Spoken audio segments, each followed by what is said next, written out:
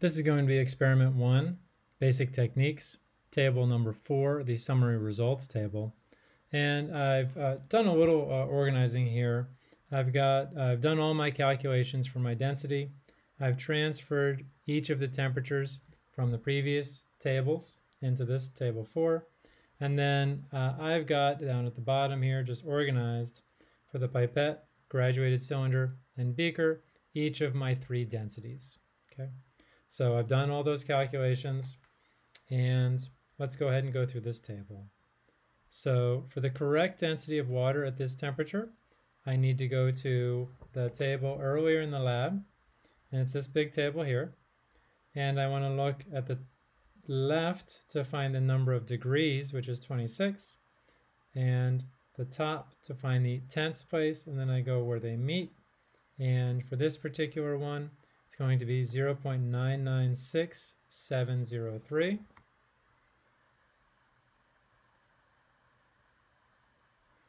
And that's going to be density of water. So it's in grams per milliliter. These temperatures are in degrees Celsius. And now I have to do for the other two as well. So 24.7 is 0.997 120, and we will be writing all these digits. 24.6, 0.997, 146. Those are our correct values, and we know those very well to six significant figures.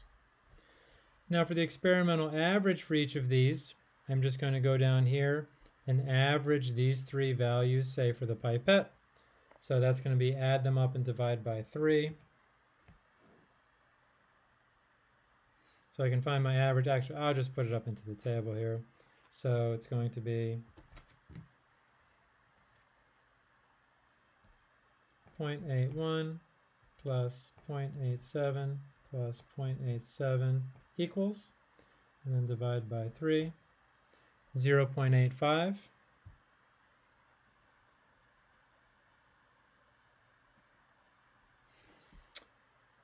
Same thing for the others. So, uh, and I will let you do that, or for your own data, actually. Then standard deviation. Standard deviation is a little more complicated. I will do it for the pipette, and then I will show you how to do it in Microsoft Excel. So the calculation goes like this. So standard deviation, which is represented by the letter sigma, is going to be uh, I'll set this up for you. It's a very, it's the, it's like one of the most complex calculations we'll do all semester.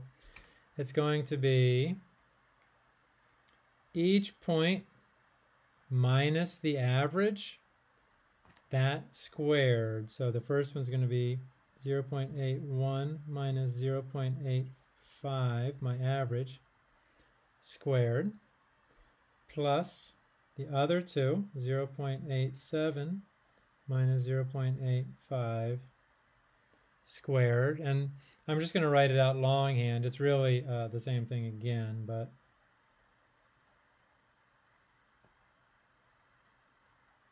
Yep, that did fit on. Good.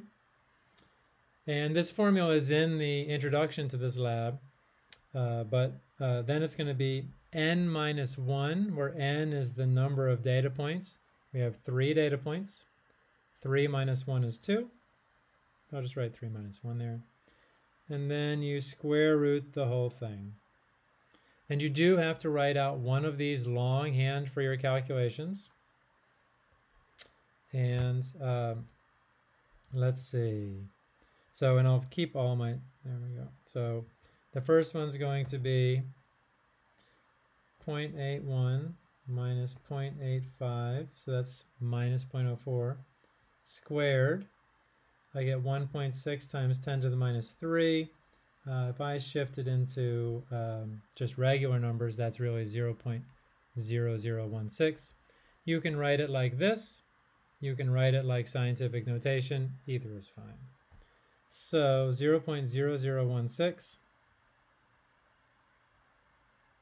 plus, now I'm going to do the 0.87 minus 0.85 hit the equal sign, then square it, 0 0.0004. And then because the next one's the same, it's just going to be plus 0 0.0004 over 2 square root. Step by step, we'll get her done. So 0.0016 plus 0.0004 plus 0.0004. That's my numerator. I then am going to divide it by 2. That's that divide by 2 is before you do the square root. 0.0012 and then square root and on my calculator it's above the x squared so I'm going to hit shift x squared and I get 0.0346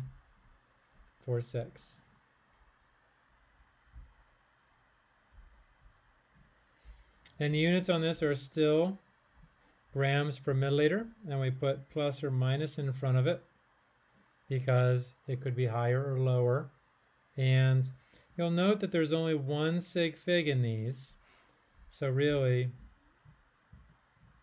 0.03.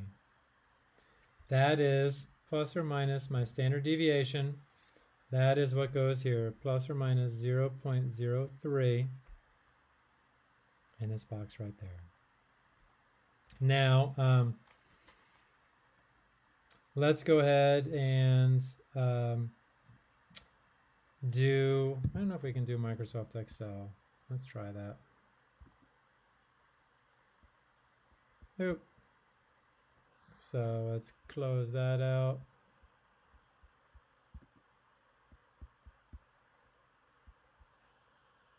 And open up a new one.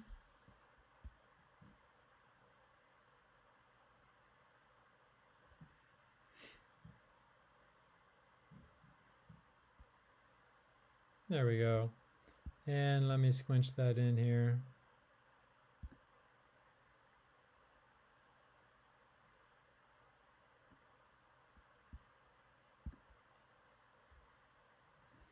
And make it a little bigger. There we go.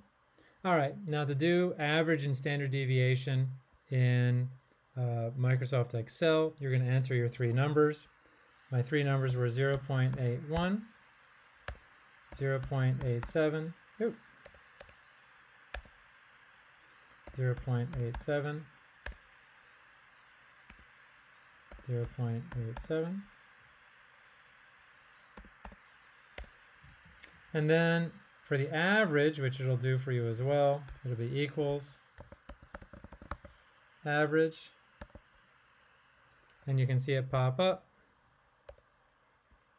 So you can click on it. Then you're going to click and drag over the boxes.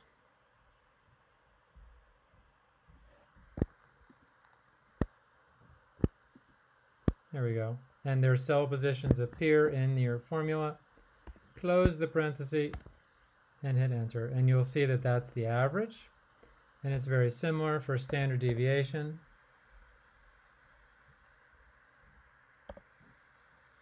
That also appears. There are actually many forms of standard deviation, but we just want the most simple.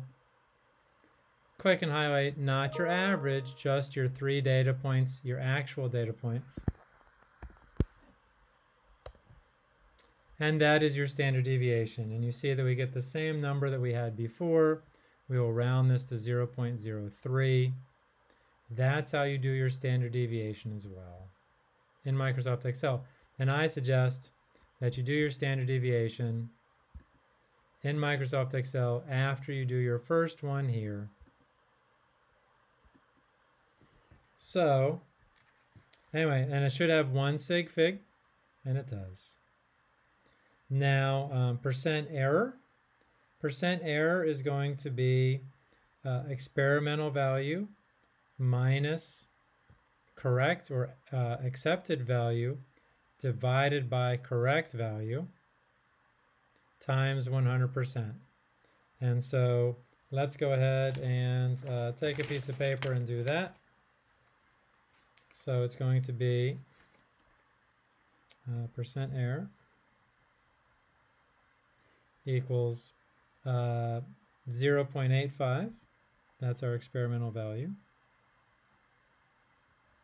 Minus our correct value, 0.996703. And we will keep all significant figures through the calculation, and then we'll round our answer to the proper number.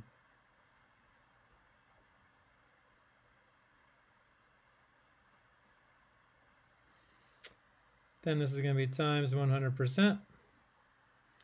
This will be negative, and percent errors can be negative. 0.85 minus 0.996703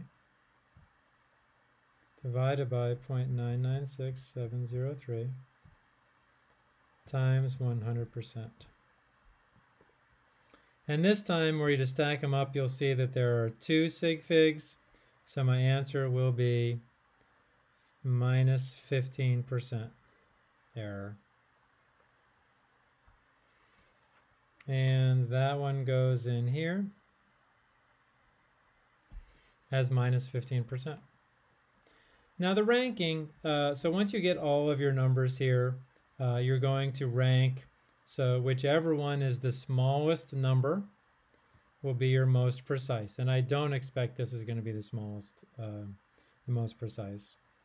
And here again, this time it's closest number to zero because it can be positive and negative. Closest number to zero is going to be most accurate. Farthest number from zero and minus 15%, I would imagine that this one is going to be uh, the least accurate, so it's going to have a number 3 in here. Even without doing the calculations, you can see that the densities are farthest from the correct values for the pipette. And that's taking you through all of the calculations for uh, table number 4. If you have any questions, please get in touch with me about, uh, feel free to show me your work as well. Send me a picture. Okay.